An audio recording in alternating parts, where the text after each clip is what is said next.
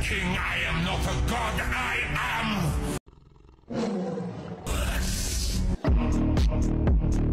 am...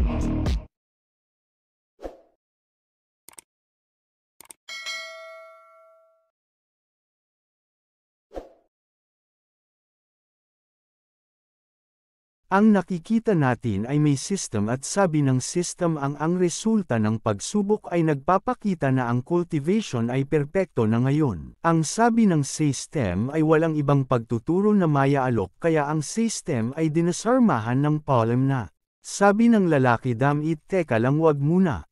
Pangalan pala ng lalaki ay si Linyan Fan. Umiyak na lang si Linyan Fan sabi niya ang ikalimang taon matapos lumipat dito ang sabi ng Saint ay dinisarmahan salamat sa lahat ng binigay mo sa akin nitong nakaraang limang taon. Ang limang taon ito ang nagturo sa akin at may malagalawan pa ups nagkamali ako natanggap sa number 1 university may mala cosplay panggalawan baka si Conan yan sabi niya paglutas ng hindi mabilang N. A pala isipan, tila menor de edad ngunit matalino na maging isang may sapat na gulang. Ang henyong estudyante sa high school na si Linyan Fan at ang isa naman ay magaling daw siya magpinta. Ako si Linyan Fan ang nangunguna sa National Art Championship ano ang ipinipinta ko para sa inyo ngayon. Physics, Chemistry, English, History, Music, Sports, Politics, Geography. Sabi ng host ang nagwagi ay ang pinakamahusay na nag-iisang mag-aaral na si Linyan Fan, sabi ni Linyan Fan marami ako natutunan. At nakita natin si Linyan Fan. Parang hindi na mapinta ang kanyang mukha sabi niya ngunit ano ang punto ng pag-aaral na ito huwag sabihin sa akin na kailangan kong makipag-ayos sa halimaw. Sabi niya ang mundo kung saan ako lumipat dito ay ang mga tao ay maaaring lumipad. Halimaw dito ay maaaring tumawa. Ang halimaw na ito ay kaya akong lamunin ng isang lagok. Ito ang immortal cultivation sa mundong ito. Siya ay lumuhad sa puntod at pinahintulutan ang kahihiyan ng pag-aaral ng kurikulum ng mataas na paaralan sa loob ng limang taon. Ngayon ay naghihintay na umaasa na balang araw ay gagabay ang system upang linangin ang kawalang kamatayan at sa huli ay malayang lumipad sa langit ng isang walang kamatayan.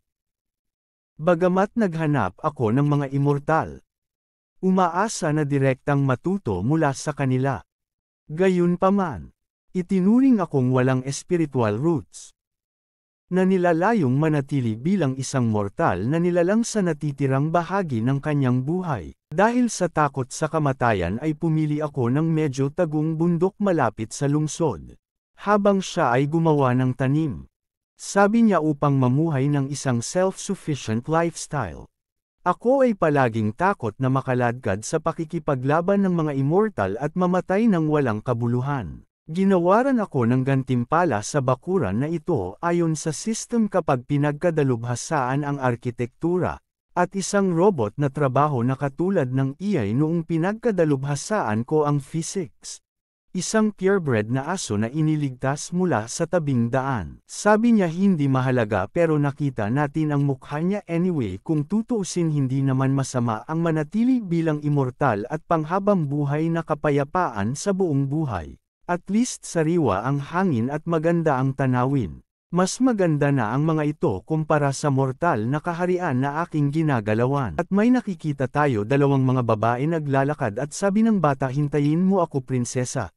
Sabi ng prinsesa masamang ama na emperor paano siya maglakas loob na isipin na pakasalan ako sa kasuklam-suklam na douchebag hindi ko siya papatawarin. Sabi ng bata prinsesa dahan-dahan lang, hintayin mo ako parang narinig ko ang tahol ng mabangis na hayop, anong kinakatakutan mo?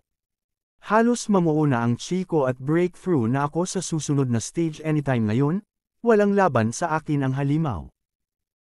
Wika ng bata prinsesa tatlong taon mong sinusubukang itayo ang iyong pundasyon. Sabi ng prinsesa ano ang alam mo? Ang ama ko ay napakahirap pakitunguhan. Hindi ko kayang magtago na lang sa kahit anong tiwangwang at walang tao na lugar kung saan kahit ang mga ibon ay hindi umiimik. Hindi ba't ako ay matagpuan sa isang sandali pumunta ako sa isang lugar tulad ng na. At lumingon siya at may nakita siyang bahay. Sabi niya may nakatira sa kagubatan. Sabi ng bata mukhang hindi ka nakahanap ng desyerto na lugar. Prinsesa sabi ng prinsesa kung hindi dapat. Anong klaseng tao ang naninirahan sa kalaliman nitong matandang gubat? Sinabihan niya ang bata na wag sabihin ko sino siya. Maaaring ako ay nagkakamali ngunit ang arkitektura na ito ay mas mababa sa palasyo ay maaaring isang nakatagong eksperto ang nakatira dito. Terry tingnan natin ito tandaan mo wag mo akong tawaging prinsesa tawagin mo lang akong miss. At sabi ng bata okay miss. Kumatok na ang prinsesa sa pinto at binuksan ni Linian Fan sabi niya nandito na ako. Nagtanong si Linian Fan kung pwede malaman kung sino ka at nagpakilala si prinsesa sa kanya hello pangalan ko ay Lucio dumaan lang ako at ngayon ko lang nakita ang bahay mo sa gubat. Pwede ba pumasok? Na in love na ata si Linian Fan kay Lucio sabi ni Linian Fan ang babaeng ito ay naglabas ng ethereal sense ng chi at siya ay tila isang cultivation. Maaaring ito ay spirit ng system sa langit pinadalhan ako ng isang kasintahan. At sabi ni Lucio medyo napagod ako sa mahabang paglalakad ko pwede ba akong pumasok at maupo. Pinapasok na ni Linian Fan ang mga dalawang babae at sabi ni Linian Fan ilang araw ka manatili. Sabi ni Lucio hindi ako mananatili dito. Magpahinga muna ako at aalis at nagulat si Linian Fan at sabi niya paano kung makakain o maiinom. Sayang limang taon na akong walang bisita dito at hindi ko alam kung ano ang magagamit ko para mapagsilbihan sila ng maayos. At tinatawag niya si Xiaobai sabi ni Linian Fan hiwain ng pakwan at ihain sa bisita at sabi ni Lucio. Hindi, hindi ako makakain ito ang pakwan ay isang prutas para sa mga ordinaryong tao wala itong pakinabang sa pagkain ko nito. Sa isip-isip ni Lucio ang bakuran na ito ay napaka-espesyal na parang mayroon itong kakaibang kapangyarihang kalmado sa kaluluwa. At dumarating na si Xiaobai sabi niya maligayang pagdating sa bahay ang dalawang babae ay natulala at tinignan lang nila si Xiaobai at sila ay nagulat sabi nila buhay na bagay at pinagalitan ni Li En. Yan fan si Xiaobai sabi niya Xiaobai natakot mo ang bisita magmadali at humingi ng tawad sa bisita at sila ay naninag sabi ng bata kay Lucio ano yan. Sabi ni Lucio isang espiritual na robot ngunit may ganitong pambihirang mataas na espiritual na katalinuhan na immortal na robot ay maaaring ito ay isang immortal na robot. Sabi ni Linian Fan sa mga babae huwag kayong maalarma. Ito ang aking kasambahay ang pangalan niya ay Xiaobai at isa siyang robot. Lumalapit si Xiaobai sa mga babae at sabi niya pasensya na kung nagulat kayo mga babae. At nakikita natin ang mga babae hindi ko masabi sa mukha nila sabi ni Lucio ano at sabi ni Linian Fan medyo komplikado itong ipaliwanag ngunit si Xiaobai ay ginawa iay lamang sa pamamagitan ng paggamit ng ilang mga prinsipyo at may advanced na teknolohiya. Ito ay hindi isang malaking pakikitungo lamang ang ilang mga maliliit na tricks walang espesyal. Sabi ni Lucio nakikita ko na naiintindihan ko. Sa isip niya ay sigurado ako na ito ay espiritual na robot para sa kanya ang espiritual na robot na may espiritual na katalinuhan ay ilang maliliit na trick. Sabi ni Linian Fan wow gaya ng inaasahan sa isang tao cultivate ng immortalidad. Naiintindihan niya ang napaka-abstract na konsepto sa isang iglap. At binigyan na ni Linian Fan ang mga babae ng pakwan sabi niya miss subukan mo itong pakwan ako mismo nagpalaki nito. Sabi ni Lucio pagkatapos ay magalang kong tatanggapin ito. Sabi niya sa isip niya ay ordinaryong pakwan lang ta pero hindi ako makatanggi sa expert. Sabi niya sa isip ay ang pakwan na ito ay napakaganda tulad ng pulang kristal na kumikinang na may nakasisilaw. At tinikman na ni Lucio ang pakwan siya ay napunta kung saan ay may tubig sabi niya anong nangyari at lumingon siya at may nakikita. Sabi ni Lucio ang aking refleksyon ay naging isang Diyos. Siya ay nahulog at bumalik sa kasalukuyan sabi niya ito ay espiritual na chi. At may lumalabas na dragon sa likod ni Lucio sabi ng bata miss anong mali. Nagulat si Lucio sabi niya tagumpay ako sa pagtatayo ng pundasyon. Dagdag niya pa dahil sa kakulangan ng mga insight naghintay ako ng tatlong taon ng paghihirap ay hindi makapagtayo ng pundasyon. Gayunpaman ngayon pagkatapos kumain ng pakwan na ito na hindi lamang naglalaman ng espiritual na chi ito ay dumating pa na may mga pananaw na matagumpay kung naitatag ang pundasyon sabi ng bata ano. Si Lin Fan ay bumolong kay Xiao Bai may ginawa ka ba sa pakwan? Siya ay lumapit kay Lin Fan sabi niya salamat senior sa pagtulong sa akin breakthrough upang magkaroon ng itinatag na pundasyon. Si Lin Fan ay nagtataka sabi niya gaya ng sabi ko ordinaryong tao lang ako at isa lang itong ordinaryong pakwan anong kinalaman ng breakthrough sa pakwan ko bakit tinatawag mo ako, senior, ganon, na ba ako katanda sa'yo? Sa isip ni Lucio hala nagalit ko ang eksperto. Siya ay napaisip tama ang eksperto ay nagbalat kayo bilang isang ordinaryong tao para maranasan ang pamumuhay ng ordinaryong buhay. Siyempre asar siya sakin muntik ko nang ang ibunyag ang pagkakakilanlan niya. Nagsorry si Lucio kay Linian Fan. Sir sorry talaga kung na-offend kita medyo natuwa ako at na-offend kita ngayon lang. Sabi ni Linian Fan huwag mong isa puso. Haha natutuwa akong nasiyahan ka sa pagkain ng pakwan na ito. Tinatawag ni Linian Fan ang aso niya at dumarating na si Blacky binigyan na ni Linian Fan ang pakwan at kinain na ni Blacky. Sabi ni Linian Fan wala naman akong iba dito pero marami akong tinatanim na prutas at gulay at mahilig kumain si Blacky ng pagkain ko. Ito ay isang pakwa na naglalaman ng mga insight at malamang nahigit pa sa espiritual na prutas at binigyan niya lang sa aso. Sa isip ni Lucio ay maaaring ito ay ang senior na sinusubukang sabihin sa akin na ito ang makalangit na paraan ng langit at lupa na ang lahat ng nabubuhay na bagay ay pantay-pantay kahit na ang aso ay may karapatang kumain nito. Ang ekspertong ito ay hindi lamang tumutulong sa akin na magtayo ng pundasyon ngunit huwag mag-atubiling gamitin ang kayamanan na pakwan upang ituro sa akin ang makalangit na batas. Sabi ni Lucio kay Linian Fan baka alam mo ang pagkatao ko at gusto mong makipagkaibigan. Sabi ni Linian Fan anong sinasabi mo miss hindi ko maintindihan. Binigyan ni Lucio si Linian Fan ng pendant at sabi niya bilang pagpapahalaga ko sa pakwan ngayon. Sabi ng bata miss hindi mo maibibigay yan.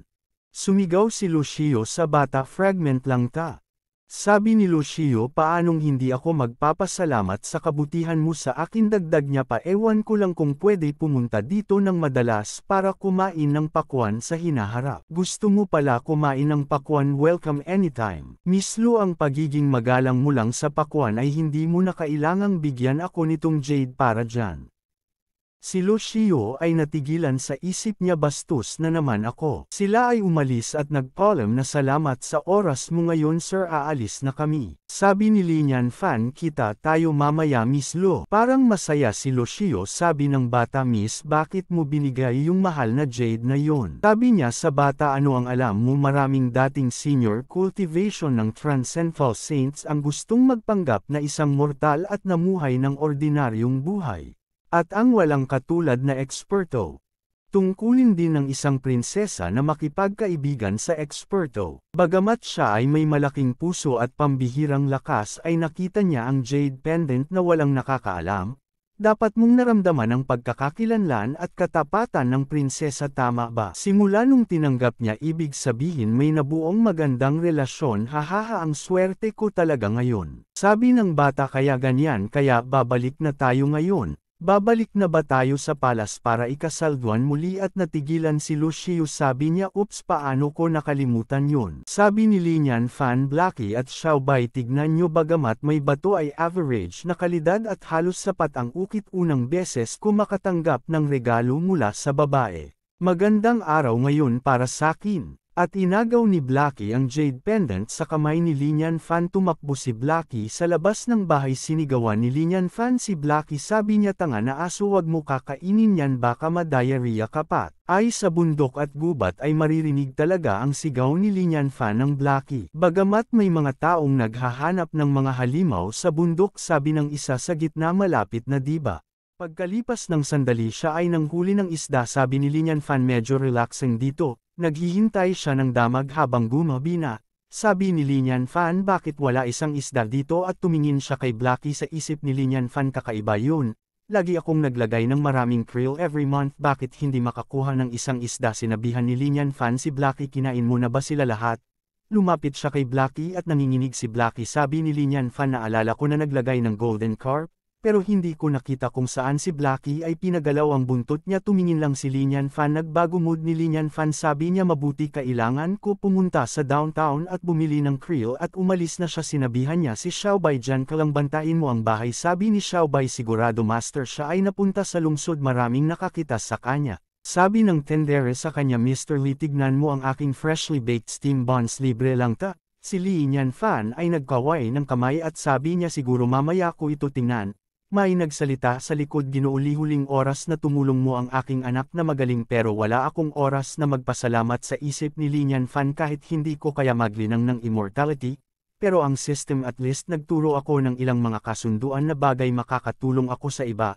Akala ng mga tao dito magaling ako pero ilang basic science lang, dagdag niya pa sa katotohanan hindi ko rin mabuhay ang isda.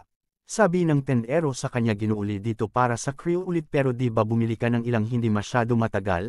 Sabi ni Lee wag muna ako paalala na alala ko na nila yung lahat ng krill sa pond pero hindi ako makahuli ng isda. Na-check muna ba ang water quality environment at feed?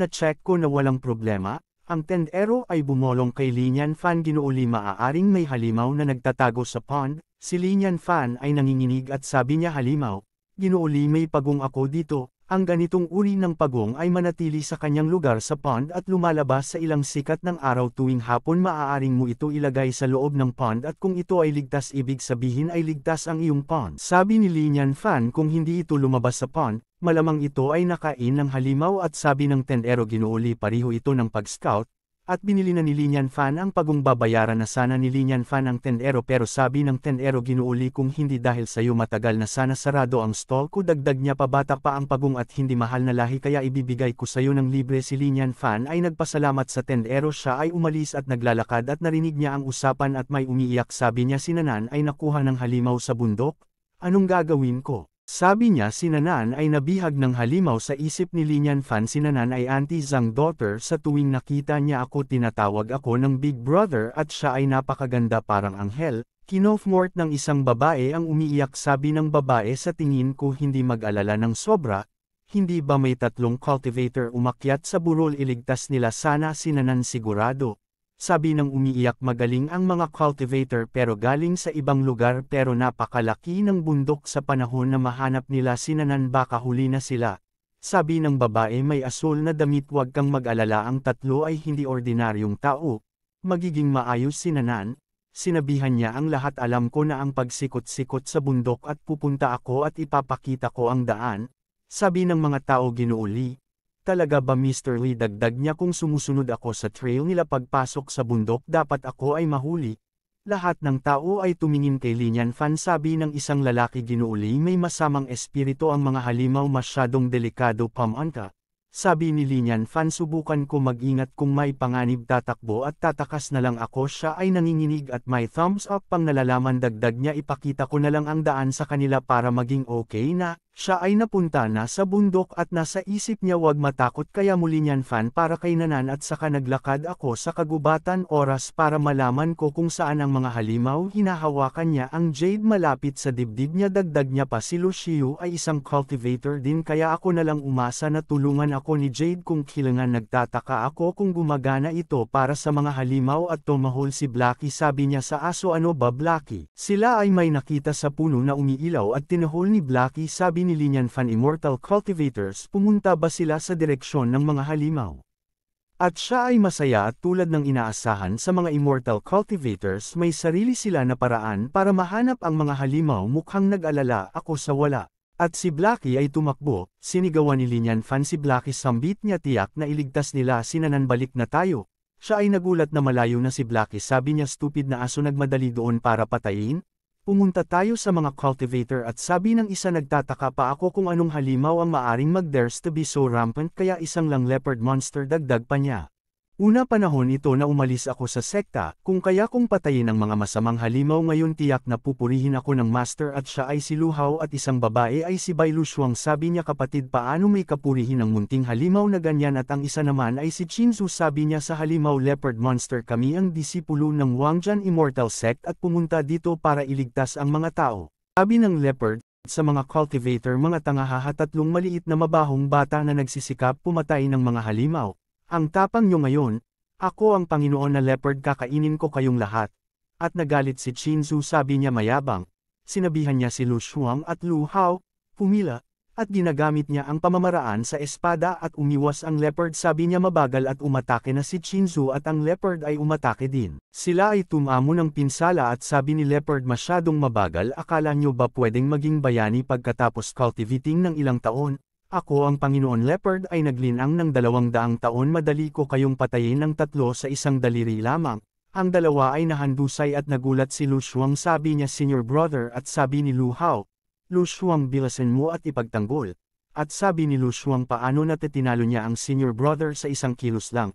Siya ay nagulat ang leopard ay malapit na sa kanya.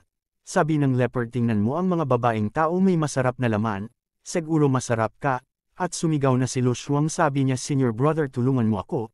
Sumigaw si Lu Hao sambit niya halimaw kung manggahas ka na maglakas loob na maglagay ng daliri kay Junior papatayin kita, kami ang mga disipulo ng Wangjan Immortal Sect. Ang aming sekta ay lalaban hanggang kamatayan?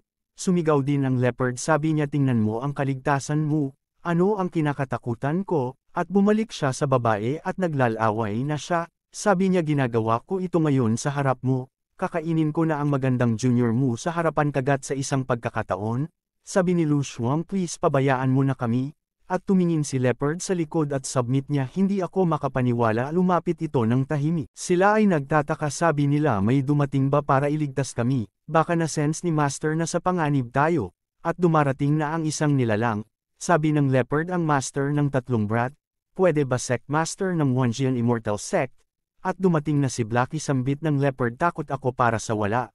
Anong ginagawa ng ordinaryong aso dito? Magandang mood ko ngayon hindi na ako kakain, umalis ka na? At bigla nagsalita si Blacky sabi niya leopard monster sumuko ka na ngayon bago maging huli na? Nagulat silang tatlo sabi nila nagsalita talaga ang asong ito. Paano naging confident ang isang aso? Tumakbo ka na ang halimaw na ito ay napakalakas. Ang halimaw ay tumingin lang, sabi ng leopard ay so ikaw ay munting monster dog. Hoy black dog na baliw ka na ba sa paglinang? Alam mo kung sino ako, si Blackie ay sumagot habang nakangiti hindi ako karamihang lumalabas kaya hindi ko alam. Labas na ni Leopard ang kapangyarihan niya sabi niya sa aso, bibigyan kita na magising sa utak mo pagkatapos niyan malalaman mo. At pinakawalan niya ang kanyang kapangyarihan, may konting tikim ka sa aking kapangyarihan, huwag maging babong aso sa susunod mong buhay hahaha. Sabi ni Luhaw ang malakas na hurricane, si Blackie naman ay kinain niya lang ang kapangyarihan, at siya ay nabusog sa kapangyarihan, at lahat ay natahimik, si Leopard ay nagtataka kung paano niya kinain ang atake ko, at tumayo na si Blackie at nawasiwas niya kanyang balahibo, at siya ay nagseryoso pinakawalan niya din ang kanyang kapangyarihan. Sabi niya malapit na ang master ko ayaw ko magsayang ng oras, at nabigla si Leopard sabi niya bakit bumigla dumilim? Sabi niya sa Leopard dahil may ginawa ka na hindi ko nagustuhan kaya dapat ka maparusahan? Bigla natakot si Leopard sambit niya malaking kamay na aso, Si Blackie ay sumugod simbit niya mamatay ka na, biglang lumuhod si Leopard sabi niya ako lang maliit na halimaw na leopard Panginoon na aso patawarin mo ako at bitawan mo ako, sabi ni Blackie ay huli na, pinakawalan niya ang kapangyarihan, at sinalun niya na buo ang kamay ng aso, at nawala ng buhay ang leopard, parang ipis lang siya sa larawan, at nawala na ang madilim na kalangitan, at may lumuhod sa kanya sabi ni Luhaw salamat sa pagligtas sa aming buhay, at lumingon si Blackie sa kanya at tinadyak niya ang lupa at sabi niya tumayo dagdag pa niya gusto ng aking Panginoon na makaranasan ang buhay ng mortal na may ordinaryong pagkakakilanlan tandaan niyo ito ay pinatay niyong tatlo ang monster leopard wala akong kilalaman dito. Kapag dumating ang aking master dito, huwag mo banggitin ang tungkol sa ginawa ko. Si Lu Shuang ay nagtataka sabi niya master, dagdag pa ni Blackie tretuhin ang aking master na parang ordinaryong tao, at tretuhin mo ako na parang ordinaryong aso. Si Blackie ay umihi habang nagsalita sa kanila malinaw na ba, at sila ay namumula sabi ni Chizu isang malakas na halimaw na aso katulad nito. Sino po ba ang posibleng maging master? Sila ay gumalang at sabi nila tandaan namin matitiyak. Si Blackie sambit pa niya napakahusay, at dumarating na si Linyan Fan tinatawag niya si Blackie, at ang tatlo ay biglang sumaya dahil makikita na nila ang Panginoon ng aso, sambit nila mukhang makikita natin ang pambihirang tao na ito, Si Li Fan ay humihingal habang naglalakad, sambit niya hindi mo ba narinig ang tawag ko sa'yo, bakit ang bilis mo tumakbo nahihina na ako paghabol? At nakita na nila ang master ng aso sa isip ni Lu Shuang kaya ito ang pambihirang eksperto na nakakaranas ng buhay ng isang mortal. At bigla sinampal ni Linyan Fan si Blacky sambit niya di ba sabi ko sa'yo tumigil ka, hindi mo ba narinig? At galit na galit si Linyan Fan kay Blacky si Blacky ay pinapagalo ang buntot at dinilapan niya ang sapatos ni Linyan Fan sambit ni Linyan Fan o ngayon marunong ka na magdilaan ang sapatos ko. Sa isip ni Lu Hao anong klaseng high-level expert siya talagang tinuring niya ang immortal na aso na parang ordinaryong aso. At nagulat si Lu Shuang sambit niya senior brother siya ang master aso na tinakpan ng langit ang kamay, kahit ang master baka hindi mahuli ang kamay ng aso, sabi ni Chin Zhu tapos underestimating master, junior sister Lu Shuang, sabi ni Lu Hao, ang ating master ay sect master ng Wanjian Immortal Sect, at sigurado na kaya niya ang kamay ng aso, ilang buwan lamang para makabawi sa pinsala, habang hinahawakan niya ang mukha ni Blacky. Napaisip si Lu Hao sa isip niya hindi may hindi tama walang spiritual power fluctuation sa taong ito kahit tignan mo talagang mortal siya. Lumingon si Linyan Fan sa mga cultivator. Lumapit siya kay Lu Hao, kinamayan niya at sabi niya sorry may ginawa ba ang aking aso. Nagpakilala si Linyan Fan kay Lu Hao ako si Linyan Fan, Dagdag pa niya salamat sa tatlong bayani sa pagpatay sa halimaw at pagligtas tenanan ngayon, dinala ninyong lahat kapayapaan sa bansa sa baba ng taon si Luhaw naman ay nagtataka. Sa isip ulit ni Luhaw Linyan Fan Yan Fan, hindi ba tinatawag niyan Fan ang nostalgic feeling ng mortal buhay ng isang buhay? Naliwanagan na ako, no wonder kinikilig niya ang sarili bilang ordinaryong lalaki. Kahit ang pangalan ay sobrang kahulugan, master karapat dapat ka maging expert, biglang lumuhod si Luhaw at hinawakan niya ang ulo ni Chin Zhu. Sabi ni Luhaw masayang makita ka Mr. Lee. Si Lu Shuang sabi niya nakita ko na si Mr. Lee sila ang mga senior ko. Luhaw at si Chin Zhu. Ako si Bai Lu Shuang ang anak ng sekta master ng Wanjian Immortal Sect. Kapalaran makita ko kayo ngayon. Sabi ni Linyan Fan excuse me pwede bang makita sa malapitan ang halimaw? Ito ba ang halimaw?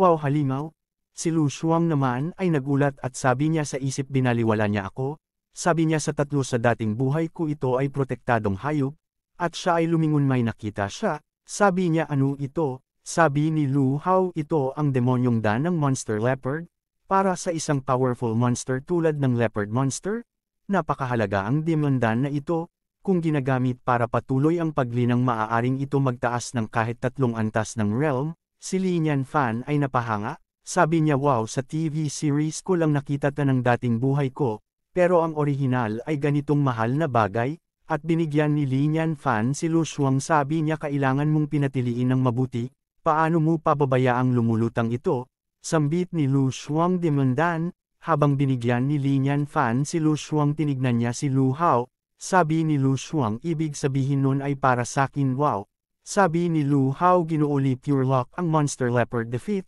wala namang hiniling, sabi ni Linyan Fan since natalo ninyong, lahat ang monster natural na sayo ang demandan, si Lu Shuang naman ay nagulat sa isip niya kaya pala nakuha ko, tinutok ni Senior ang katapatan ko, kung kukunin ko ang demandan, at baka patay rin ako, habang tumutulo ang luha niya dagdag pa niya kaya kahit hindi ko kakayanin, ako din dapat, sabi ni Lu Shuang kay Linyan Fan kung si Mr. Li Fiancé kunin mo ito ang dan, at tumahol si Blacky. At sabi ni Linyan Fan anong ibig mong sabihin, sambit niya si Blacky, nagbuo ng ideya, ang tungkol dito, kumuha ka ng dan at kukunin ko ang katawan ng leopard, gusto kong subukan kung ano ang lasa ng monster leopard, ang dalawa ay inisip nila kung ano lasa. Sabi ni Lu Hao si Mr. Lee ay sobrang elegant, kaya mas mabuti natin respeto ang ating kapalaran. Si Lu Shuang naman ay masaya sambit niya malaki kaya magbigay talaga sa akin ang demandan elixir. Sinabihan niya si Blacky ikaw ang magdala ng katawan. Si Blacky naman ay natahimik, at lumingon sa gilid at nakita niya ang tatlo sila ay nagulat tumitingin ang aso sa kanila. Sila ay lumalakad habang hapon na at may dala. Habang buka ang baba ni Shinzu sambit niya ginuuli wag kang mag-alala magandang ang physique ko. Pakibigay ko ang katawan para sa iyo.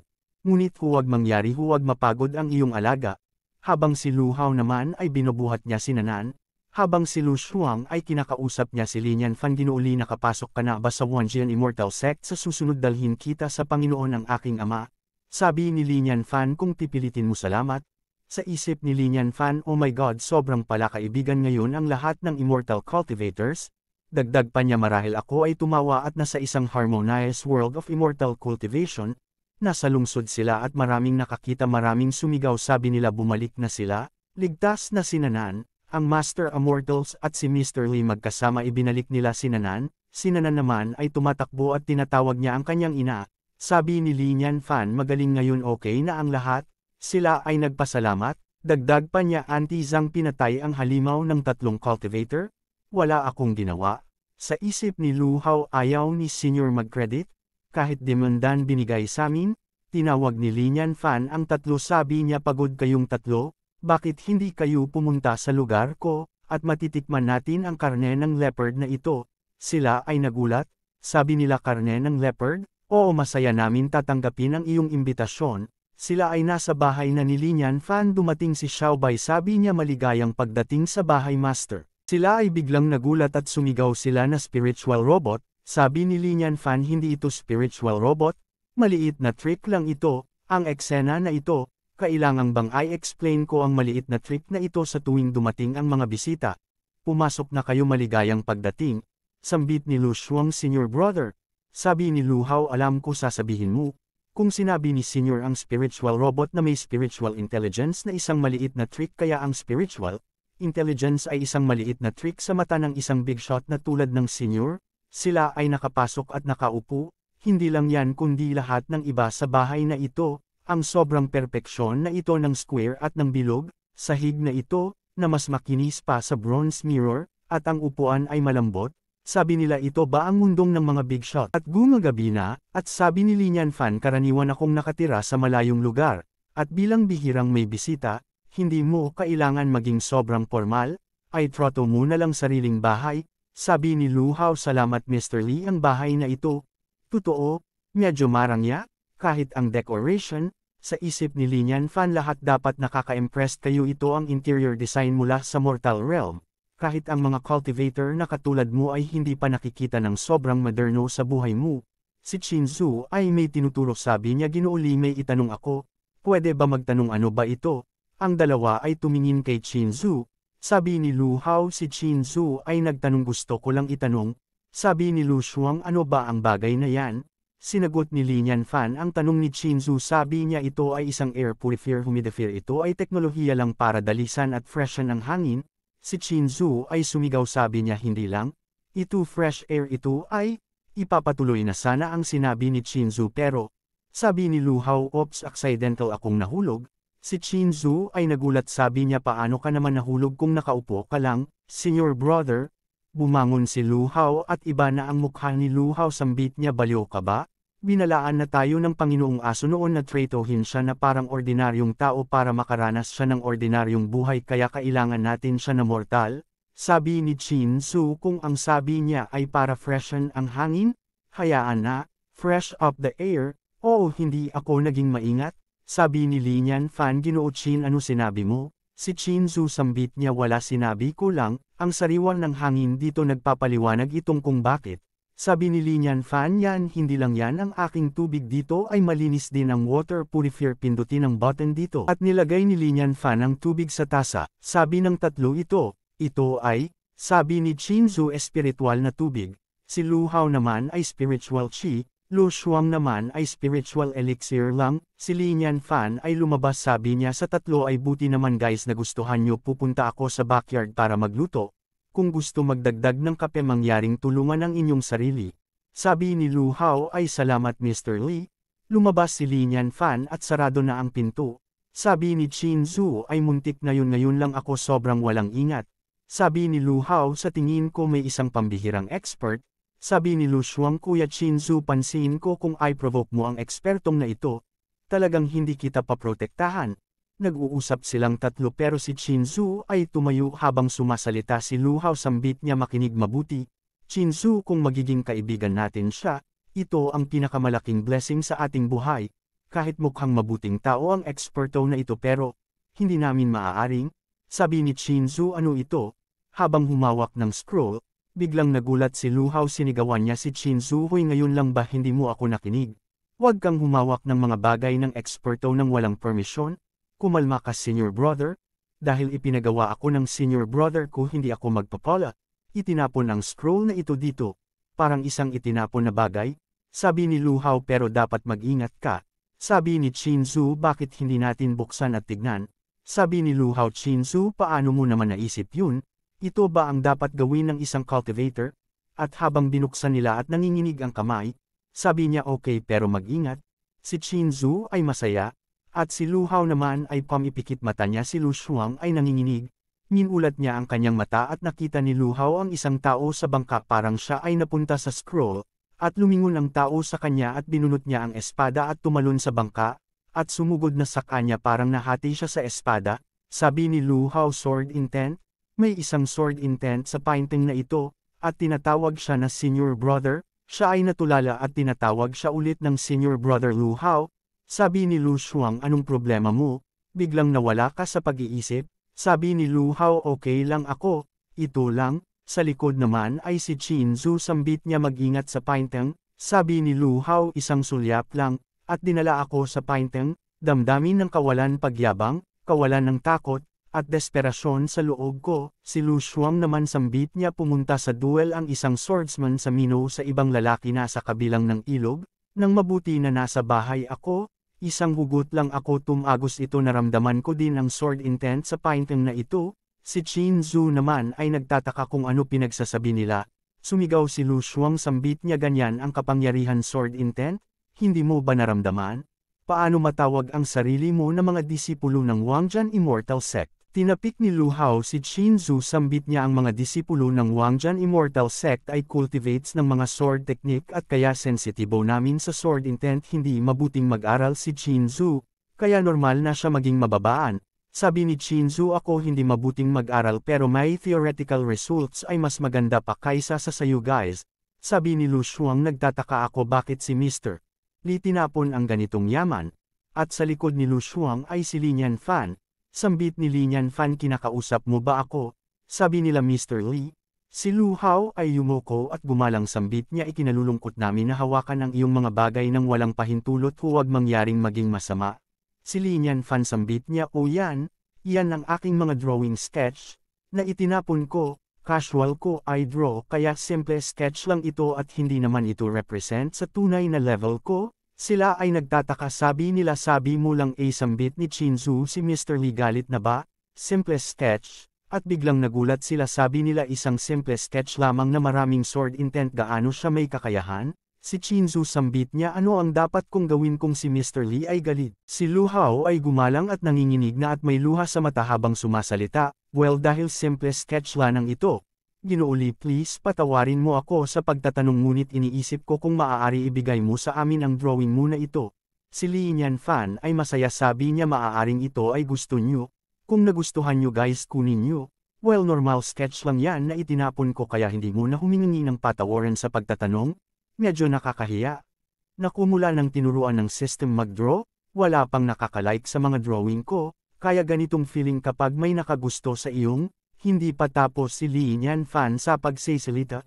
Pero biglang lang yumoko at gumalang ang tatlo kay Li Fan, si Lu Hao sambit niya salamat Master Li, si Li Fan naman ay nagulat bigla. Si Lu Hao ay sumigaw kay Lu Shuang hindi pa huli, dagdag pa niya agad naming ipapadala ang pagpipinta pabalik sa aming master kung sakaling may isang hindi inaasahang mangyayari, Si Linyan Fan ay nagtataka sambit niya hindi inaasahang natatakot ka ba na ibabalik ko ang aking salita, sabi ni Luhaw hahaha Mr. Lee, ako ay nag-joke lamang, sinigawan ni Luhaw si Lushuang ang paintang ay ilayo muna.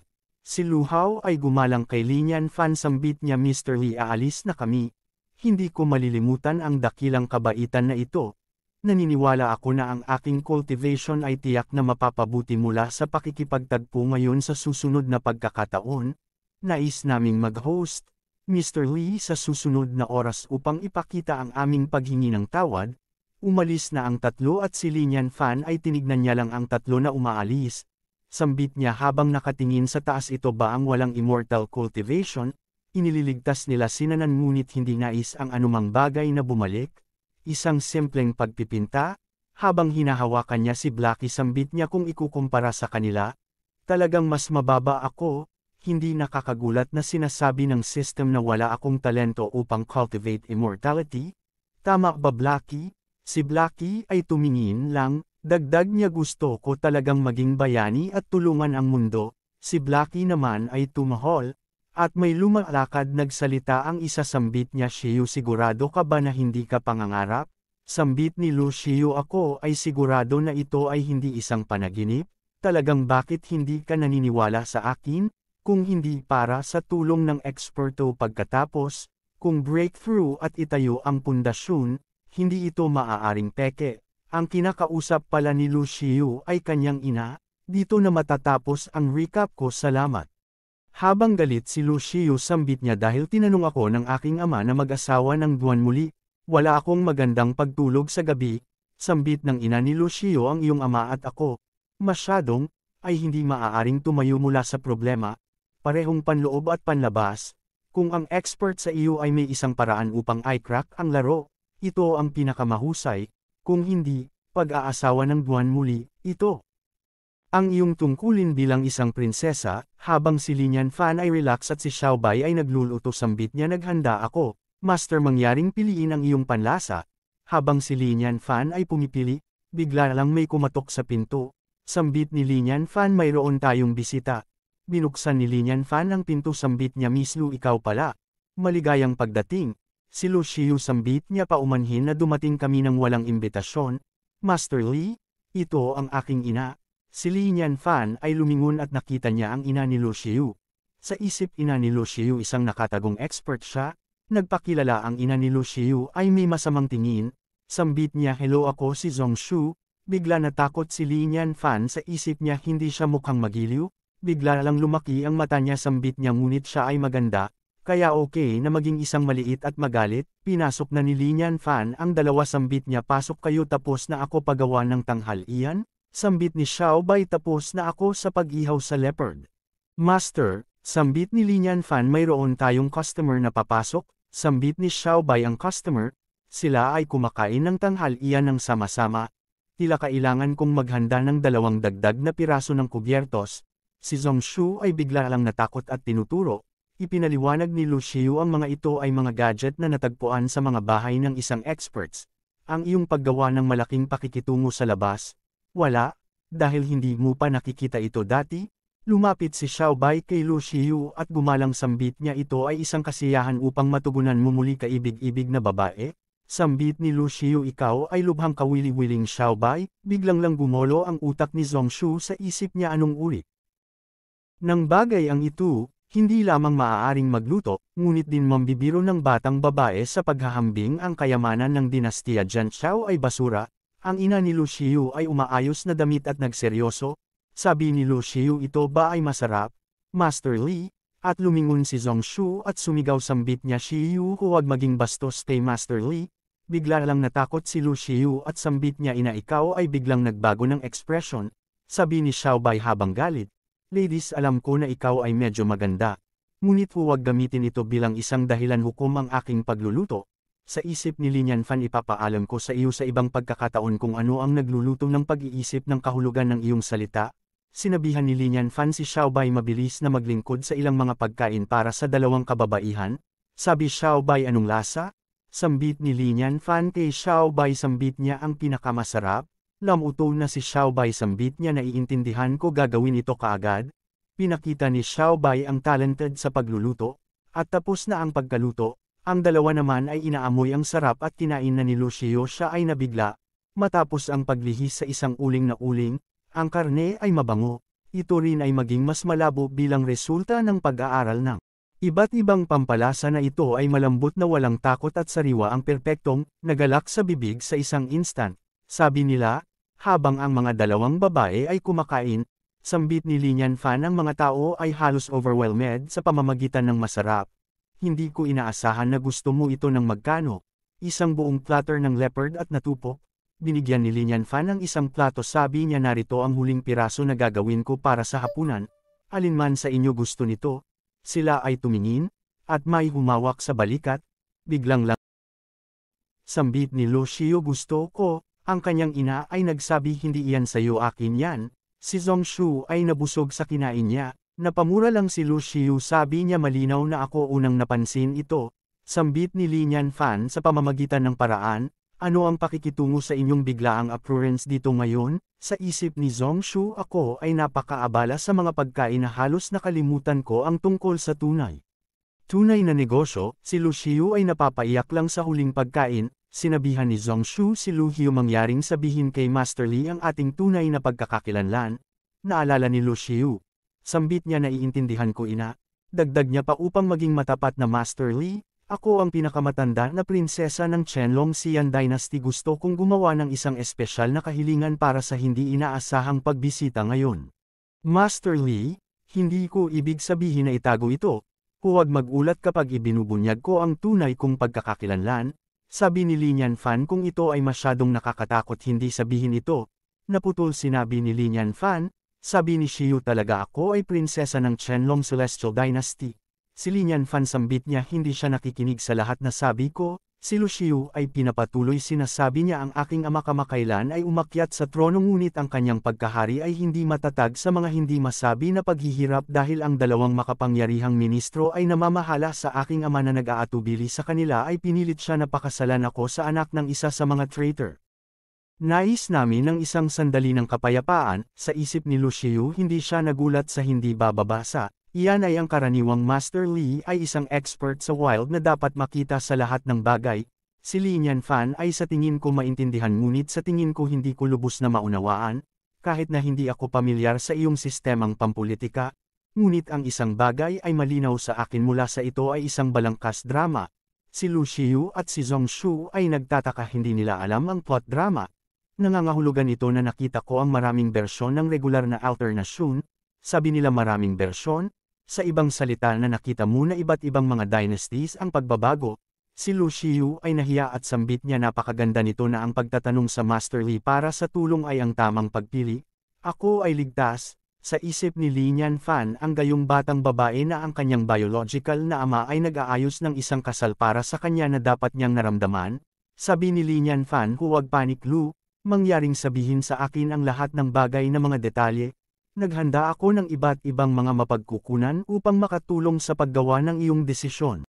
Sa isip ni Lucio bakit siya ay nasa sabik, ang main force sa immortal na mundo ay nahahati sa Celestial Dynasty at Sekta, Celestial Dynasty ang mga patakaran ng dinastaya sa pamamagitan ng Cultivator, ito ay binubuo ng mga mapagkukunan ng pag-aani ng kamalian at mga sundalo ay immortal na mga nagsasaya.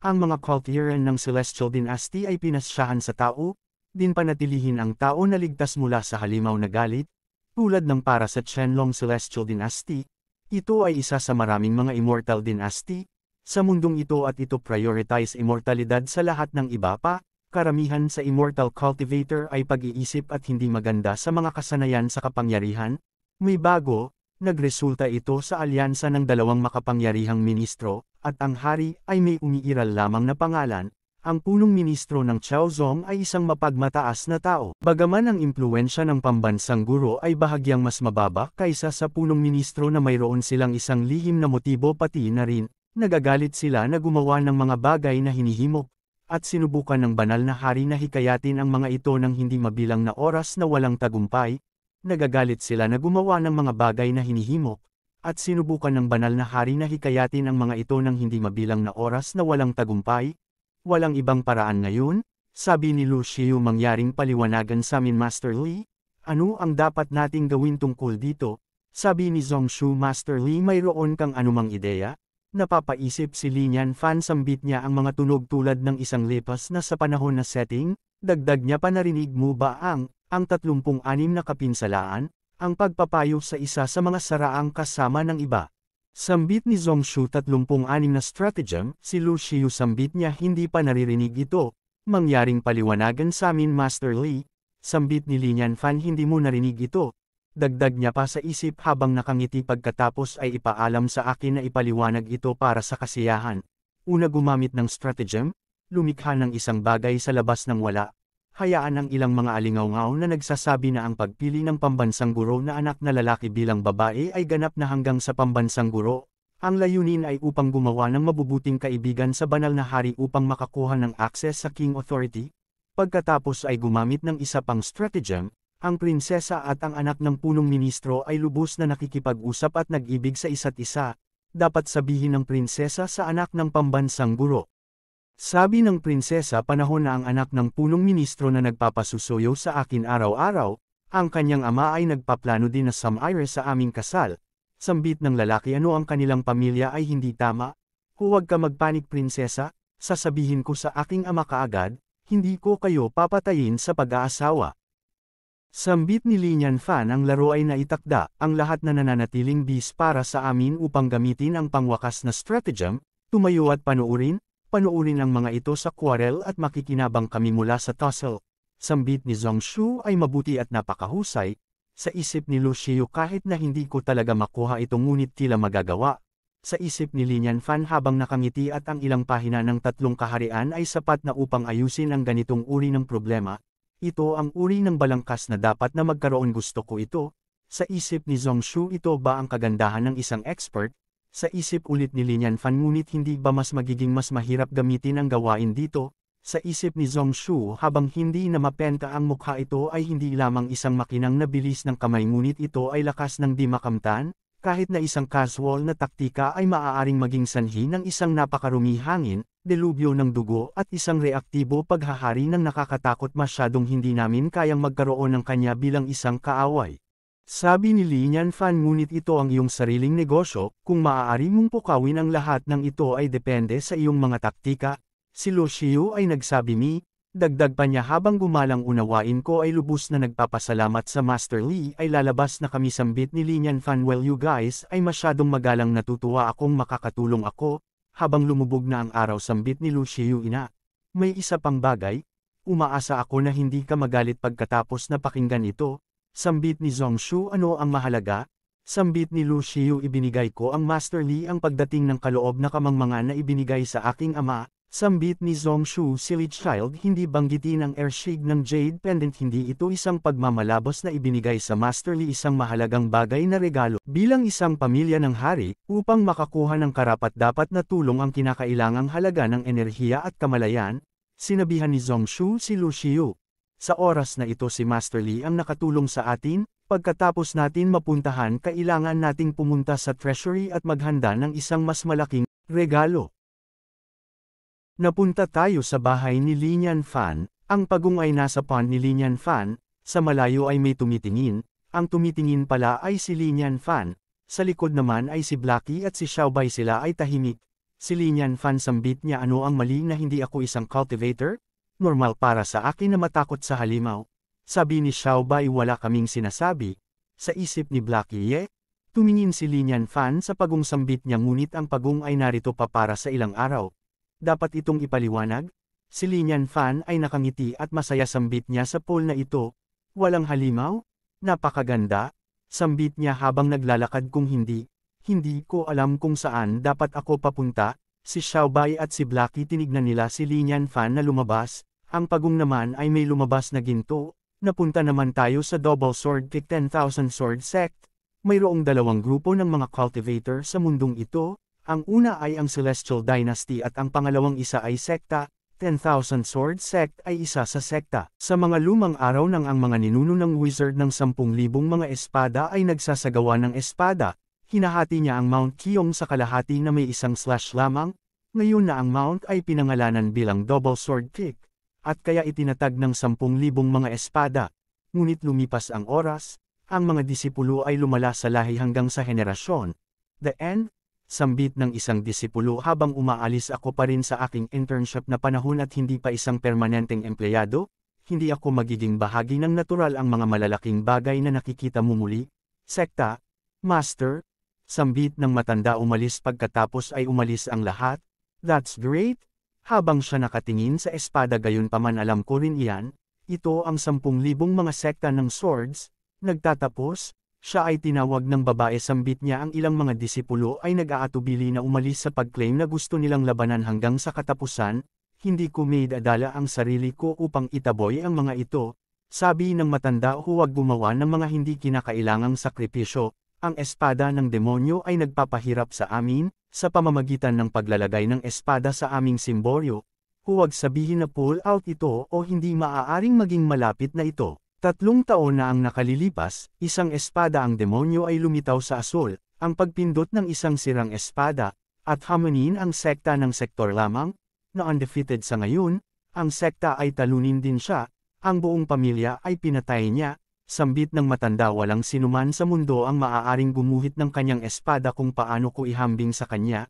dapat kang umalis din, senyor kapatid na babae, hayaan mo akong pasanin ang demonyo ng espada na nag-iisa, kung mananatili ka bilang isang bintana para sa akin sa loob ng sampung taon, sapat na ako ay nagpapasalamat, ang babae ay tumitingin sa malayo sambit niya paano ko magagawa ang isang bagay tulad ng senior brother na ito, at may lumalakad tinawag niya ang kanyang ama, sambit niya kami ay bumalik, o maaaring bumalik, napansin ko ang aming mga kapwa disipulo na lumalaki, tanging alam ko na ang ganitong uri ng aksidente, biglang agulat siya sa atake, silang tatlo ay umiwas, Sambit ni Lu Shuang ama ano ginagawa nyo, sabi ng ama ni Lu Shuang kayo ay dapat na bumalik. Umalis na kayo kung hindi mo iwanan, pipilitin kitang umalis, sabi ni Lu Shuang ama.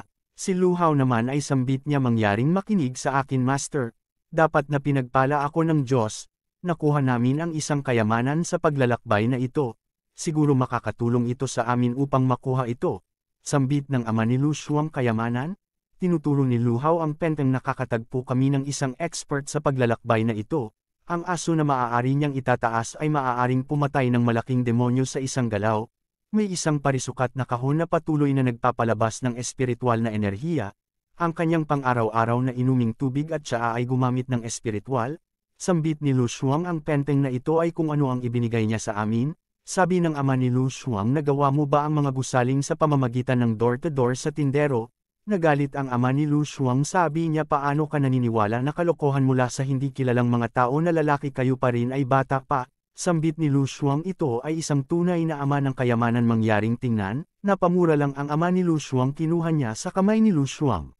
At tinapon niya sa malayo sambit niya ang kalamidad ay nasa paligid ng sulok, at iniisip mo ang mga sirang pinteng na ito ay maaaring iyon ang tubig, humanda na siya sa pag-atake dagdag pa niya bilang iyong guro, ibibigay ko sa iyo ang huling aralin upang panatilihing gising ka. Sinugod niya ang pinteng, ang mga disipulo sabi nila wag master, lumabas na ang tao sa penteng, pinatigil niya lang ng isang daliri sambit ng ama ni Lushuang ikaw, ikaw ay, ang tao sa penteng binuka ang bibig, biglang lang lumiwanag, ang mga disipulo umalis sa sekta sabi nila Lindol, ano nangyari? Maaaring ito ay dumating ang isang demonyo ng espada sa isang araw ng maaga? Sabi ng isa hindi, hindi ito ang demonyo ng espada, ang master natin ay naka-breakthrough, ang cultivation ng mga realm mula sa mababa hanggang mataas, ay nahahati sa chi pagsasanay ng gusali base saver, yuan ying, o sa labas ng karanasan sa katawan, kaguluhan, pagsasama, pagsubok ng Diyos at Mahayana, sa sandaling maabot mo ang larangan ng Yuan Ying, pagkatapos ay maaari mong bahagyang tawagan ang iyong sarili ng isang malakas na tao. Sabi ni Lu Hao ang master ay nagbigay lamang ng pagpipinta ng isang mabilis na sulyap, at nakapag-advance siya mula sa Yuan Ying sa Og. Ang ama ni Lu Shuang ay nag-relax na tahimik at may lumabas na enerhiya. Sabi ni Chinzu salamat sa Diyosa na master lumakas na dagdagan ang labis na pagkatao. Kahit na mayroon tayong aliwin ang demonyo ng espada bukas, dapat nating maghanda sa panganib. Si Lu Hao naman ay hindi umimik. Ang ama ni Lu Shuang ay tumingin sa espada ng demonyo. Ang espada naman ay gumagalaw. Ang espada ay nawala at napunta sa kamay ng isang lalaki sabi niya biglang naka-breakthrough. Ito ang aking unang pagkakataon na nakikita ito. Siya pala ang espada ng demonyo. Sabi niya kawili-wiling, Hoy Bai Watchen, ikaw ay si Bai Watchen tama ba? Itatabi ko ang isip na iyon, sabi ni Lu Shuang bakit hindi kami sumang-ayon na labanan ng bukas, sapagkat nakita ko ang isang taong breakthrough, kaya ako ay kakaiba hindi ko maaaring makatulong ngunit dumating mas maaga, nahihiya pa siya habang sabi niya ang curious siya ng isang bata ay malakas, yamang dumating ako magsimula sa paglaban ng mas maaga, ang totoong edad ng demonyong espada, tatlo taong gulang. Ama ni Lu Shuang ay tumingin sa demonyong espada, ang demonyong espada sambit niya nakikita ko na ikaw ay nakahanda, natahimik lang ang ama ni Lu Shuang, bigla lang may napalibot ng madilim, sa mata ng demonyong espada, sambit niya humanda na para mamatay. Sabi naman ng isang babae mayroon bang pagkakataon na manalo, lumakad na ang ama ni Lu Shuang, sambit niya lahat kayo ay umalis na. Si Lu Shuang ay nabigla at tumingin, tumalon na ang ama ni Lu Shuang, lumapit na siya sa demonyong espada at umiwas, hinabol siya ng demonyong espada, sambit niya magkaroon tayong tunay na labanan. Ito ba ang iyong limitasyon Grandpa Bay? Inatake niya ang demonyong espada, ngunit ang atake niya ay isang ilusyon, at siya ay nabigla. Ang demonyong espada ay naging dalawa, tumingin siya sa likod at, sinangga niya ang espada, sambit ng demonyong espada ang iyong mahusay na lakas ng braso, ako ay kakaiba kung gaano katagal maaari mong mapaglabanan, ang kanilang laban ay hindi na makita, at may bumagsak, ang espada naman ng demonyong ay may dugo, ang ama ni Lu Shuang ay naghandusay sa lupa. Sambit ng demonyong espada, yan lang ba ang pagka-breakthrough, ako ay nasa sabik sa wala. Sabi ni Lu Hao ang kapangyarihan ng puwang ay masyadong malaki, kahit na ang master breakthrough sa Ob siya ay walang kapangyarihan laban sa espadang demonyo upang lansihin, sambit ng demonyong espada habang masaya. Iyon ay kahangahangang ang aking espada domain ay tunay na walang talo. 10,000 Sword Sect kung ano ang makapangyarihang pangalan ngunit ito ay lamang maging upang maging kahanga-hanga, habang nasa taas, dagdag niya pa masyado akong kas-index-index. Ang babae ay tinawag niya senior brother, sambit ng ama ni Lushuang ito ay isang awa senior sister, kung maaari kang magbigay ng dalawa pang araw upang maunawaan ang scroll ng larawan, magagawa kong protektahan ang 10,000 Swords Immortal Sect, at kung paanong ang lahat ng magagawa ko ay hilingin sa iyo na mamatay kasama ako ng kaunti pa ng isang awa. Ang demonyong espada ay lumaki ang tenga, ang demonyong espada ay nagtataka, at biglang lang lumapit siya at timulak niya ang babae sambit niya wag ka muna mamatay matanda. Paano ka na down sa ikalawang hindi mo binibilang? Habang umuubo siya sambit niya kahit na ang iyong kamalayan ng espada ay malakas, kinuha niya ang painting at pinakita, Dagdag niya pangunit kumpara sa pintor ng pagpipinta na ito ay tulad ng isang spek ng alikabok, kinuha ng demonyong espada, at tinignan niya ang painting, siya ay nagalit sambit niya ito ay peke, sinaksak niya na paulit-ulit ang painting, siya ay biglang umiyak at sambit niya dapat ito ay maging peke. Paano maaaring makuha ng sinuman sa mundo ang ganitong kamalayan ng espada? Siya ay nalantang gulay at natahimik, sambit niya dalhin mo ako upang makita siya, pinalabas niya ang aura, gusto kong patayin siya habang ang mata ay maitim, sabi ni Chin Su habang ang malakas na hangin kong dadalhin kita. Sabi naman ni Lu Hao hindi ito ang tadhana ng 10,000 Swords Immortal Sect na hindi ko maaaring makuha ang Master Li umunlad, at may nagsabi na dadalhin kita sa kanya. Ang demonyong espada ay masaya, ang nagsabi ay si Lu Shuang sambit niya ngunit ipinapangako mo sa akin, upang iligtas ang lahat ng alagad ng sekta na aking ama at ang aking ina. Sambit naman ng demonyong espada hindi ko magawa na maipapangako ko sa iyo. Sa pagpatay sa pintor ng pagpipinta muna at pagkatapos ay babalik ako at patayin ang natitirang bahagi ng mga ito. Si Lu Shuang ay nanginginig at sambit niya okay. Sambit ni Lu Hao kung nagagalit si Master Li ako ay natakot ang isang mas malaking problema ay lumabas. Sabi ni Lu Shuang ang pagkakaroon ng sinabi na mayroon kang anumang mas mahusay na ideya. Natahimik lang si Lu Hao, Dagdag pa ni Lu Shuang ito ang isa at tanging pagkakataon na mayroon ka kayong mga pananatili dito ay kukunin ko siya sa pamamagitan ng aking sarili. Kahit na bumisita sa atin si Master Lee, ito ay ganap na ang aking responsibilidad. Ilalagay ko ang sarili ko sa kanya hindi ko ito makisangkot at ito 10,000 Swords Immortal Sect.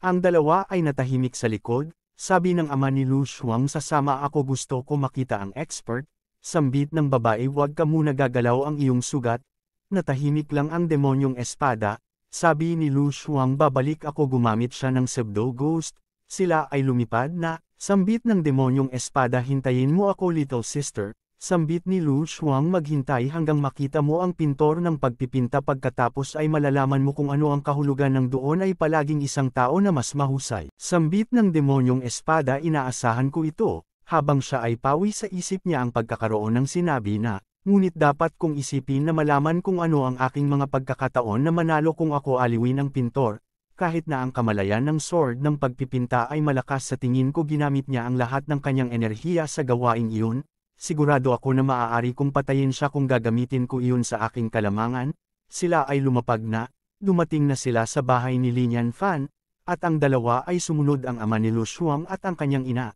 Si Lu Shuang ay lumapit sa kanyang ama at ina, Sambit ng demonyong espada nakakahiya, ako rin ang nagpapadala sa inyong lahat sa impyerno, sa isip niya ngunit nakikita ang sirang bahay na ito ay nakapagpapasaya sa akin, hindi ko makita ang kahit na ang slightest shift sa espiritual na enerhiya, kaya dapat siyang maging isang tao sa pamamagitan ng pagkakataon, sumigaw siya sa labas, lumabas ka at batiin ako at lumuhod, siya ay naghintay pero walang lumabas, sambit ng ina ni Lu Shuang bakit walang sinuman ang tumutugon, sabi ni Lu Shuang si Master Li ay wala sa bahay.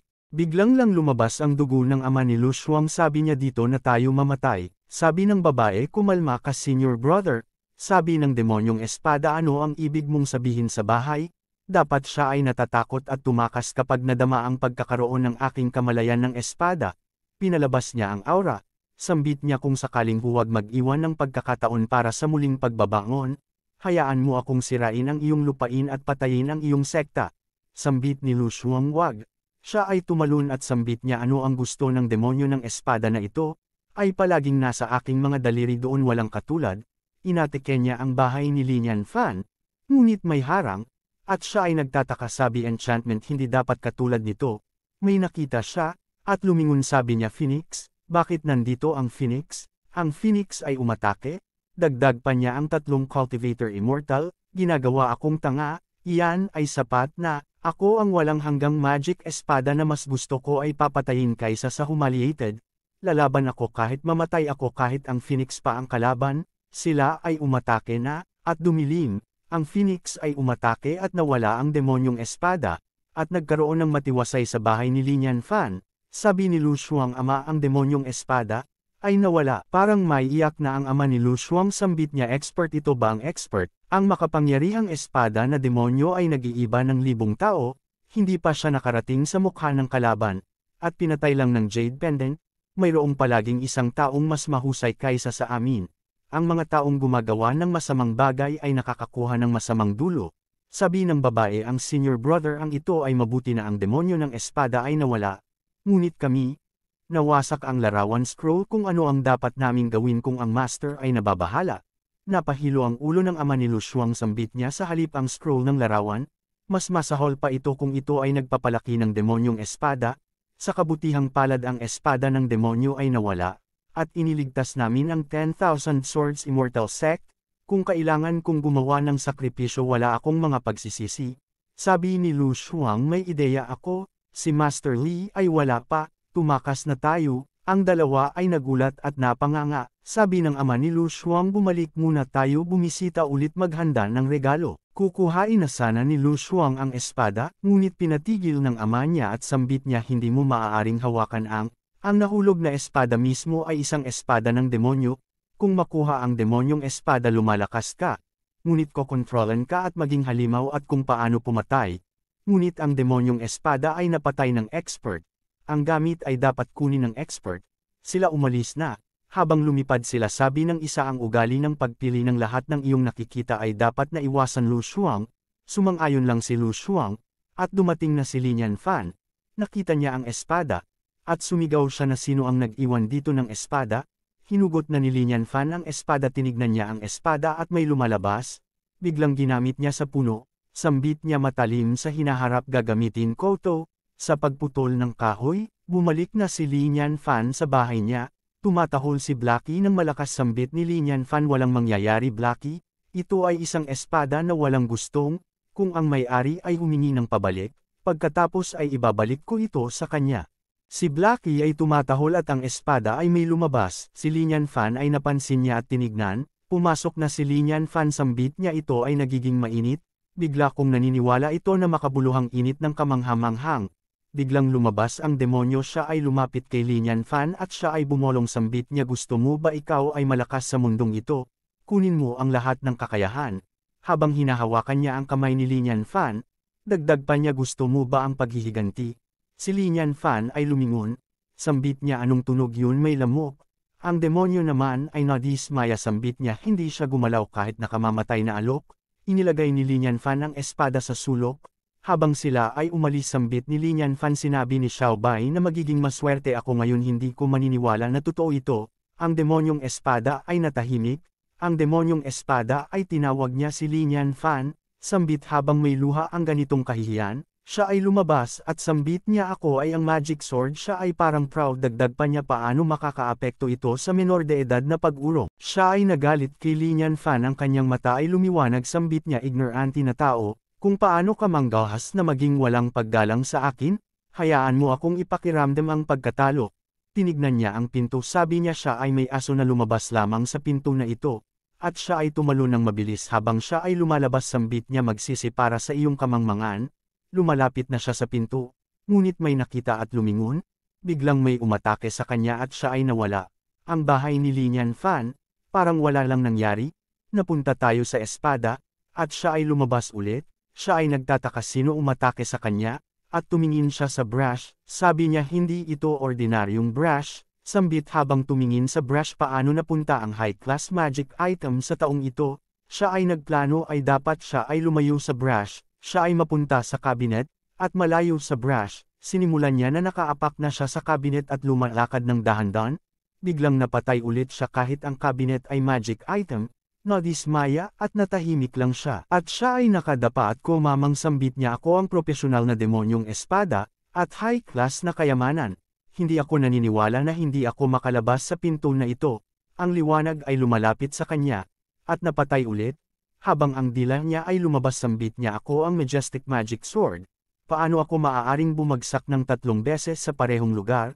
Siya ay may napansin sa likod, napatay naman siya ulit, siya ay umiyak na lang, siya ay huminto at umiiyak sambit niya? Ano ang lugar na ito, para sa kanya impyerno ang bahay ni Linyan Fan.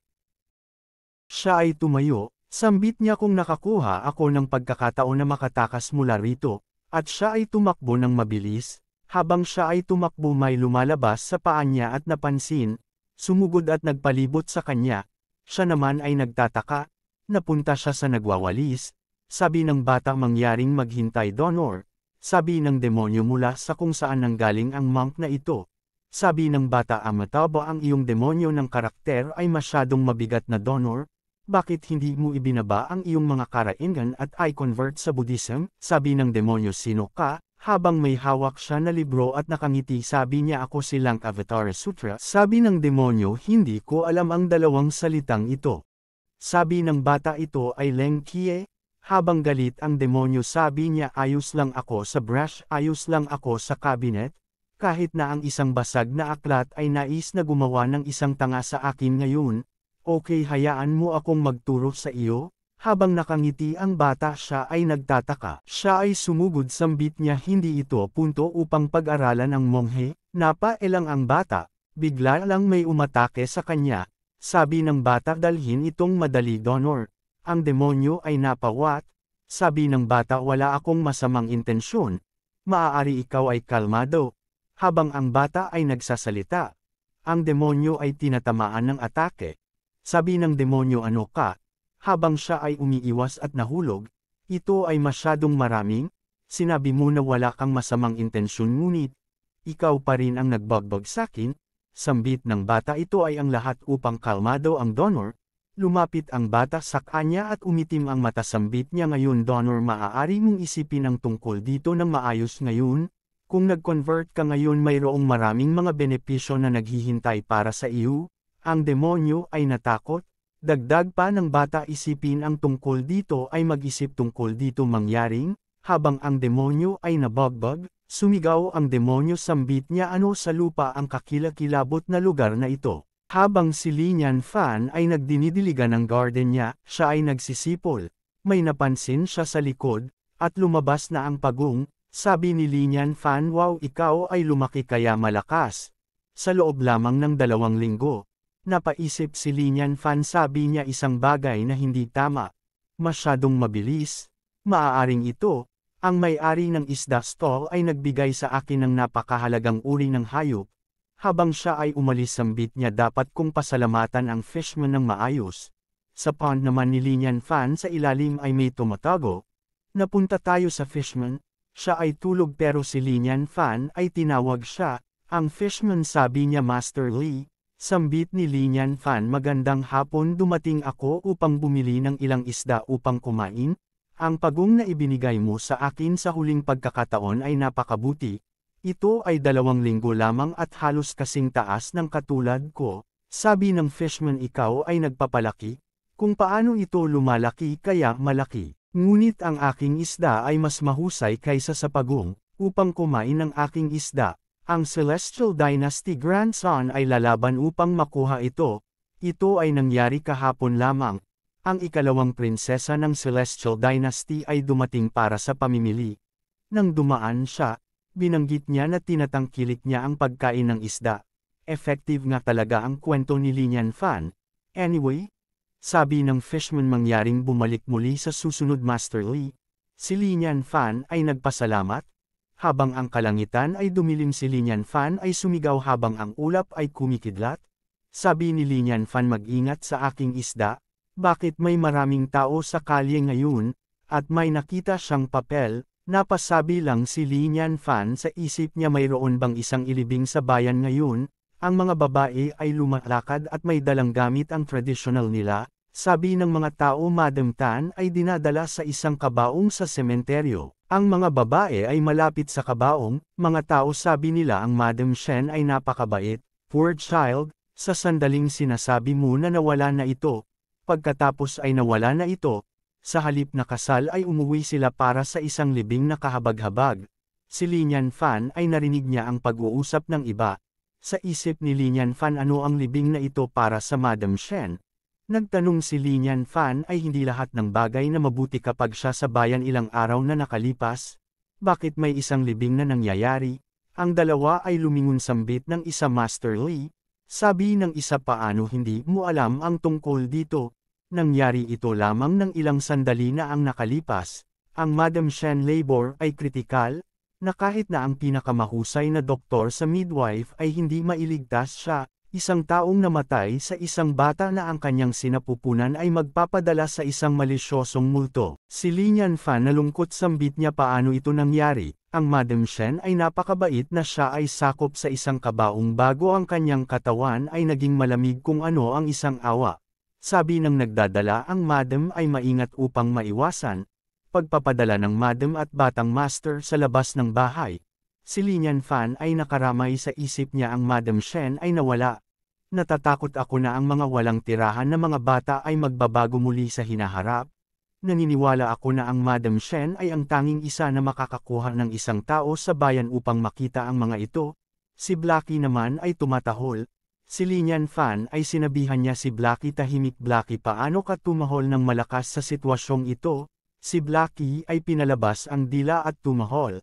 Sambit ni Linian Fan ano ang sinasabi mo sa akin na ang babaeng ito, tinakip na sana nila ang kabaong, pero pinatigil ni Linian Fan, ang isang lalaki ay lumingon sambit niya Master Lee. Sambit ni Linian Fan huwag pasanin ang kabaong, ang Madam Shen ay hindi papatay, ang lalaki ay nagulat. Sabi niya ano ang Madam Shen namin ay hindi papatay. Paano malaman ni Master Lee, sabi ni Linian Fan habang binuhat niya si Blackie, sinabi sa akin ng aking aso. Ang lalaki ay nagalit sambit niya ginawa mo ba akong tanga? Dagdag pa niya habang hinahawakan ang ulo ang Master Leshen residence ay walang mga karaingan sa iyo. Mangyaring huwag gumawa ng liwanag ng Linda Libing sa oras na ito. Biglang lang nawala si Linian Fan, kinuha niya ang takip sambit niya hayaan mo ako at makita.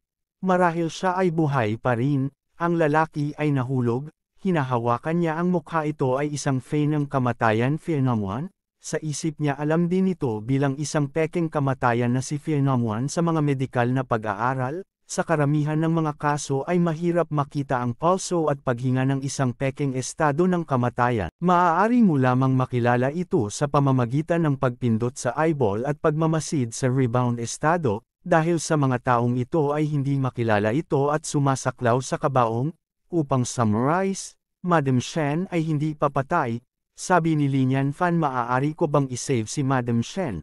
Ang mga tao ay galit sabi nila bugbugin siya, huwag mong hawakan ang bangkay ni Madam Shen.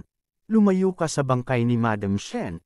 May humawak sa balikat sabi niya maghintay, Master Lee huwag lamang gumawa ng joke, Maaari talagang isave ang aking asawa. Sabi ni Linian Fan oo hayaan mo akong subukan. Natahimik lang ang lalaki at napatikip lang ng mata at sumang-ayon lang siya. Sabi ng mga tao ano ang gusto niyang isave ang isang patay na tao? Hindi ko narinig ang isang bagay tulad nito bago, ang Master Lee ay kumikilos tulad ng Rush ngayon, siya ay walang paggalang sa bangkay ng kanyang asawa, kung paanong patawarin siya ni Shen Yuan White. Ang Master Lee ay makakakuha ng problema. Hinanda na ni Linian Fan ang mga gamit, bumihis at naka-gloves at face mask nakahanda na siya. Sabi ng mga tao kung saan ang mga bagay na ito ay nagmula kay Master Lee, ang isa ay sambit niya nakita mo na bata. Sabi niya kung hindi ako nagkakamali ng mga bagay na kinuha mula sa kanyang bulsa. Habang si Linian Fan ay kumukuha sa bulsa niya, pinalabas na niya ang maliwanag na gamit, Deko alam ano tawag ta. Sabi nila isang bagay na ito ang malaki ay maaaring magkasya sa isang bulsa.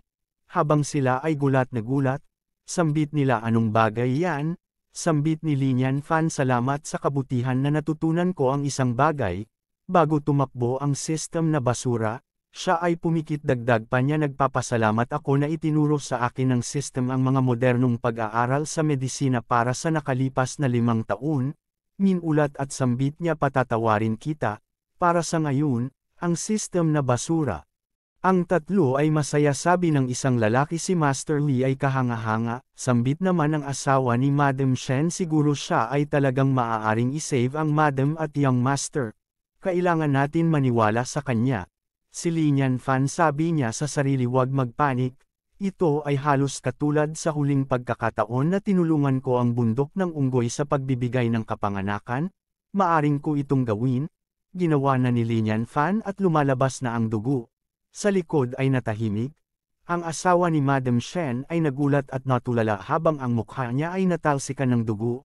Sambit niya gumawa ba ako ng isang hindi mapagkakatiwalaan na desisyon? Sabi ni Linian Fan halika at tulungan mo ako midwife. Ang midwife naman ay natakot. Sabi ni Linian Fan magkakaroon ako ng seksyon ng cesarean upang kunin ang sanggol. Explain ko muna ang seksyon ng cesarean isang operasyon sa kirurhiko para sa paghahatid ng isang bata sa pamamagitan ng pagputol sa pamamagitan ng pader ng tiyan ng ina. Ang midwife naman ay nagtataka, si Linian Fan ay hinahawakan ng umbilical cord, sabi niya maaari mo akong tulungan upang putolan ng umbilical cord, pagputol ng isang umbilical cord. Alam mo kung paano ito gagawin. Ang midwife ay nanginginig at natakot, sambit niya hindi ko alam, kung alam ko kung paano ito gagawin, sambit ni Linian Fan tulad ng pagputol na karaniwan mong ginagawa. Napaoo lang ang midwife at pinutol niya ang umbilical cord. Ang midwife naman ay napaisip siya ang bata na ito ay tunay na buhay pa rin. Sambit niya ito ay kamanghamanghang Master Lee. Sabi ni Linian Fan haha oo mangyaring hawakan ng matagal ang bata. Kumuha si Linian Fan ng karayom. Sambit niya kailangan niyang gumising ngayon, Si Linian Fan ay nag-perform, at tinurok niya sa ulo ng bata. Ang bata ay biglang gising, sabi ng asawa ni Madam Shen ang aking anak ay buhay. Siya ay nagpasalamat habang hinahawakan niya ang kanyang anak at naiiyak. Si Linian Fan ay pinapalibutan ng mga tao sambit nila. Maaaring buhayin sa isang paraan. Si Master Lee ay talagang kamanghamanghang. At si Master Lee ay talagang kahanga-hanga. Biglang napansin niya sa likod ang dalawa ay tinatakip na ang kabaong. Sumigaw si Linian fansambit niya ano ginagawa niyo habang ako ay hindi tumitingin. Sabi ng dalawa ang madam ay nagbigay ng kanyang buhay upang manganak sa isang bagong panganak ang young master. Hindi namin maaaring tumayo ang pagkakaroon ng kanyang katawan na nakalantad sa ganitong paraan. Si Linian Fan ay pinagalitan niya ang dalawa sambit niya hindi pa siya patay, Sambit naman ng isa kahit na sa kanyang tiyan ay bukas tulad nito, siya ay buhay pa rin, tinahina ni Linian Fan ang tiyan ni Madam Shen, at humihinga na si Madam Shen, ang tatlo ay umiiyak sabi nila talagang nabuhay siya, ang tatlo ay yumoko sabi nila Master Lee ay tama, sabi ni Linian Fan talagang halos siya ay namatay sa inyong kamay. At sinabihan nga sila na ang lahat ay mabuti ngayon ay kunin niyo ang inyong madam pabalik at bigyan siya ng isang magandang pahinga, at sinabi ng isang bagay na nagbabala. Ang iyong pamahiin ay halos pinatay ang inyong madam. Gayunpaman ito ay mabuti na ang bagay ay nalutas. Huwag maging pipi sa hinaharap. Ang mga bata ay lumapit kay Linian Fan sabi ng isa Master Lee ay kahanga-hanga, kayo guys exaggerating ito ay wala. Ikaw ay masyadong mapagpakumbaba, Master Lee. Sabi naman ni Lin Fan ay tama. At napunta tayo sa babae nagmamasid sa labas, siya ang saintess ng Lingyun Immortal Pavilion, siya si Lin Chindian, siya ay interesado kay Lin Fan, noong una niyang sinimulan ang pag-aangat ng kabaong, naisip ko na siya ay sinungaling, hindi ko iniisip na may save niya ang patay, Paano niya ginawa ito kahit na may isang pagbubukod para sa siyam na pagbabago ng kaluluwa at pagpapasigla? Gayunpaman ang kawalang halaga ng antas ng walang kamatayan ay kinakailangan para sa paglilinang ng transcendence, kahit na ang dalawang kondisyon ay natutugunan. Ang 10% na posibilidad ay malamang na ang lahat ay bumaba sa kapalaran sa dulo. Napakakawili-wili. Alam ko ito ang dahilan kung bakit tinanggihan mo ang tulong ng Lingyun Immortal Pavilion, Qianlong Immortal Dynasty ay may tinatago na malaking kayamanan, sabi ni Lu Xiu hindi ko siya kilala.